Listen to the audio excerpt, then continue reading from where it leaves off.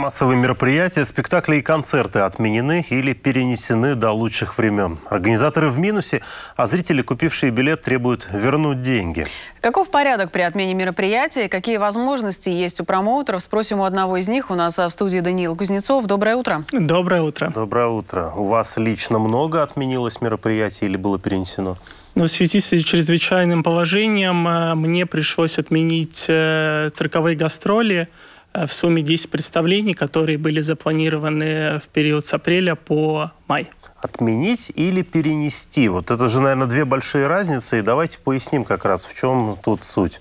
Да, конечно. Если мы рассмотрим пример, когда организатор решил провести концерт, и э, по каким-то своим причинам, э, то есть это плохая рекламная кампания, либо просто мероприятие не вызвало интерес, то здесь, разумеется, организатор не выполнил свои обязательства перед клиентом, и э, в случае, если мероприятие отменено, он должен вернуть э, средства за купленный билет. А если оно переносится, то есть организатор рассчитывает, что вот сейчас я не продал, но я перенесу на несколько месяцев вперед, там продам, там соберу зал. В этом случае э, в этом случае, опять же, организатор может индивидуально общаться с каждым клиентом и предложить несколько вариантов. Либо предложить альтернативные да, билеты на другое свое мероприятие, либо предложить э, возврат средств. Но выбор остается за клиентом.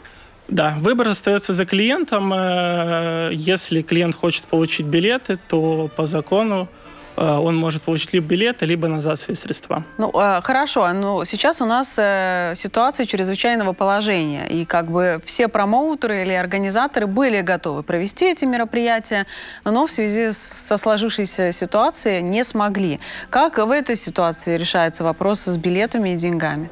Смотрите, чрезвычайное положение ввело государство а не организаторы. Да? Э, со своей стороны, как организатор, я был готов выполнить свои обязательства перед клиентом и провести э, свои мероприятия в тот период, когда у нас э, было введено чрезвычайное положение. То есть вины организатора в этой ситуации нету. То есть на данном этапе все мои мероприятия на апреле-май перенесены – и я стараюсь в индивидуальном порядке э, каждому клиенту предложить альтернативу, да, то есть подобрать э, подходящие даты на более поздний срок. Ну, насколько мы понимаем, в Латвии на законодательном уровне закрепили право организатора вот в таких ситуациях во время чрезвычайного положения деньги не возвращать, а предлагать клиенту альтернативы. У нас этого правила нет, и, по сути, клиент все так же имеет право требовать от вас деньги.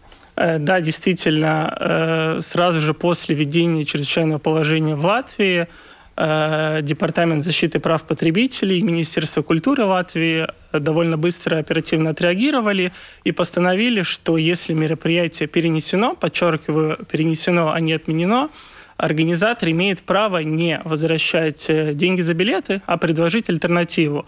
А, у нас в Эстонии э, сейчас такой практики нету, и Департамент защиты прав потребителей э, имеет такой рекомендательный характер, все же индивидуально общаться с клиентом и найти какую-то альтернативу. Э, либо предложить новую дату на более поздний срок, либо предложить ваучер на любое другое мероприятие конкретного организатора, либо же уже рассматривать возврат средств. Ну, вы сейчас в какой ситуации находитесь в связи со всем этим? То есть э, много ли людей, например, требуют э, от вас деньги и не желают приходить, скажем, в другое время на те мероприятия, которые вы запланировали на апрель-май? Как вы им объясняете эту ситуацию?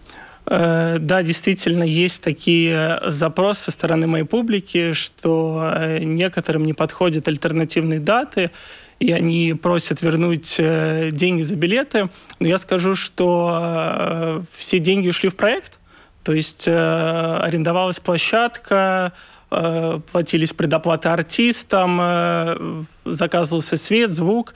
И еще раз подчеркиваю, что чрезвычайное положение вело государство. То есть организатор вкладывал свои средства в проект, и э, на данный момент э, все эти деньги в проекте я как организатор не отказываюсь э, провести свое мероприятие уже в альтернативную дату. А как, кстати, происходит в таких случаях? Вот тот же цирк получил, допустим, от вас предоплату. Сейчас гастроли вынужденно отменились. А какое-то последующее время в этом году им не подходит. То есть приходится отменять вообще. Предоплату вам вернут?